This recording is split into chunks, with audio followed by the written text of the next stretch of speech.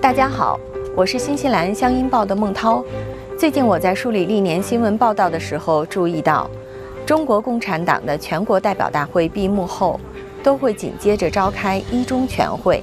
比如中共十八大后的十八届一中全会，中共十九大后的十九届一中全会。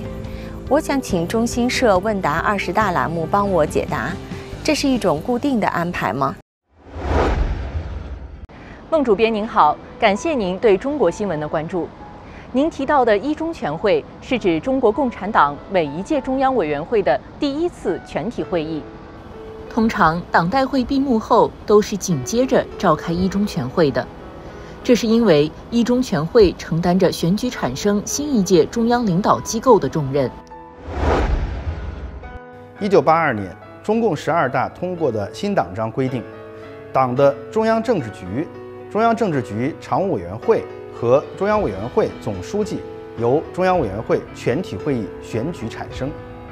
根据这一规定，中国共产党的全国代表大会要选举产生新一届中央委员会，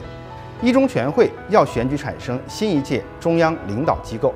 比如，中共十九届一中全会在十九大闭幕的次日举行，全会选举产生了二十五人组成的十九届中央政治局。选举习近平、李克强、栗战书、汪洋、王沪宁、赵乐际、韩正为中央政治局常委，选举习近平为中央委员会总书记。全会还通过了中央书记处成员，决定了中央军事委员会组成人员，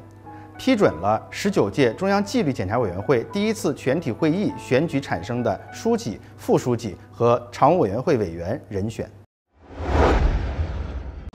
值得关注的是，自十三大开始，一中全会结束后，新一届中央政治局常委还会与中外记者见面。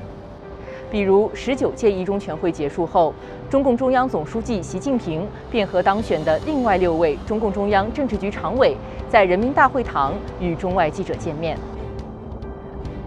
孟主编通过我和专家的解答，希望能帮助您更好了解一中全会的情况。欢迎您继续关注大会新闻，感受中国的政治脉动。